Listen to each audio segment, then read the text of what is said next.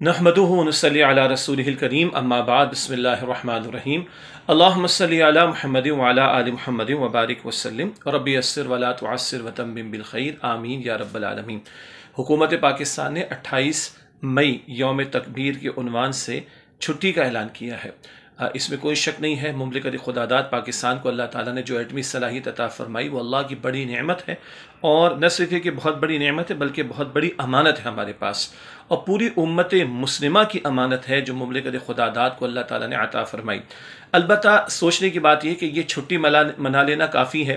ایک طرف ملک کے معاشی حالات کو دیکھیے اور ایک دن چھٹی کا ہو جانا، آپ اور ہم جان سکتے ہیں کہ معاشی اعتبار سے اس کی کیا نتائج ہوا کرتے ہیں۔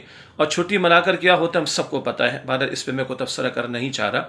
اس وقت جو غزہ کے مسلمانوں کی صورتحال ہے اور جو ظلم، ستم، مسلسل ہٹ دھرمی کے ساتھ اسرائیل کا بڑھتا چلا جا رہا ہے اور جو تباہی وہاں پر مچی ہوئی ہے، خدا کی قسم اس کے تعلق سے ہم تو بے بسی کا شکار ہو چکے ہیں اور ہمارے حکمراں بے حسی کا شکار ہو چکے ہیں۔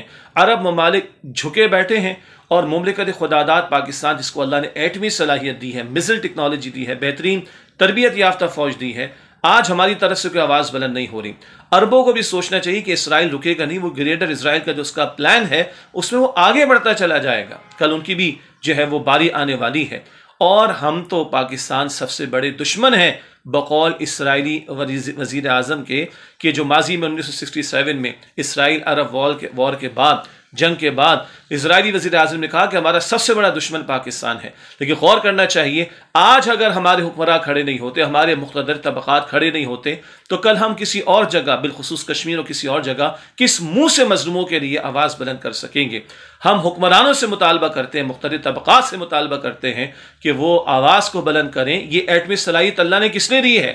شوکیس میں سجانے کے لیے دی ہے، رکھنے کے لیے دی ہے۔ کوئی آواز کا بلند کیا جانا، آنکھوں میں آنکھیں ڈال کر بات کیا جانا اور کتنے لاشوں کا ہمیں انتظار ہے، اور کس قدر ظلم کا ہمیں انتظار ہے، تو یوم تکبیر اگر منا رہے، تکبیر کا مطلب بھی یاد رہے، اللہ کی بڑائی کا نفاس اللہ کے کلمے کی سربلندی، اللہ کو بڑا ماننا، نہ کہ امریکہ کو بڑا ماننا، روپے کی پوجا پاٹ کرنا، اور اس محبت میں ڈوب کر، اور امریکہ کے خوف میں آ کر، اپنے مظلوم بھائیوں، بہنوں، بوڑھوں، عورتوں اور بچوں کے لیے آواز بھی بلند نہ کی جائے تو بہت بڑا سوالیہ نشان ہے۔ چھٹی ہم منا لیں اٹھائیس مئی کی اور ہمارے بھائی، ہماری بہنیں، ہمارے بچے شہید ہوتے رہیں۔ ہم سب نے مرنا ہے اور اللہ سبحانہ و تعالیٰ کو جواب دینا ہے۔ یہ ہمارے حکمراں بھی سوچیں اور ہمارے مختلف طبقات بھی سوچیں۔ اللہ ہم سب کو اس ظلم کے خلاف آواز بلند کرنے اور اپنا حصہ ڈالنے اور ہمارے حکمرانوں کو غیرت ایمانی کا ثبوت پیش کرتے ہوئے آگے بڑھ کر آواز بلند کرنے اور اقدامات کرنے کی توفیق عطا فرمائے۔ وآخر دعوانا الحمد للہ رب العالمین۔ والسلام علیکم ورحمۃ اللہ وبرکاتہ۔